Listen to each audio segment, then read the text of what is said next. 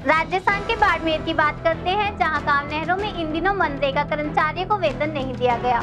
मनरेगा कर्मचारियों ने गाँव के सरपंच और कोऑपरेटिव बैंक पर मिली भगत का आरोप लगाया। कर्मचारियों का कहना है कि सरपंच और बैंक के मैनेजर ने लाखों रुपए का गबन किया।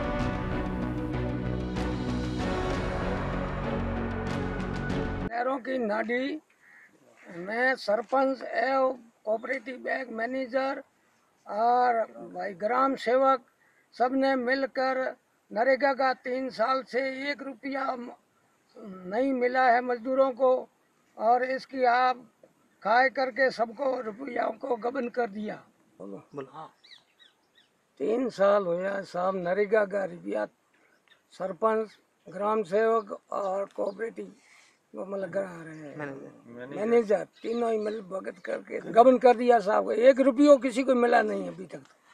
नहरों की नाडी पंचायत समेत हाँ, समित हाँ, कौन पंचायत? बस्ती में एक रुपया तीन साल में नरेगा नरेगा को कोई पैसा मजदूर की मजदूरी कोई सामग्री कुछ मिला नहीं। खाए के गबन कर दिया सरपंच ग्राम सेवक कोऑपरेटिव मैनेजर सब मिली भगती है।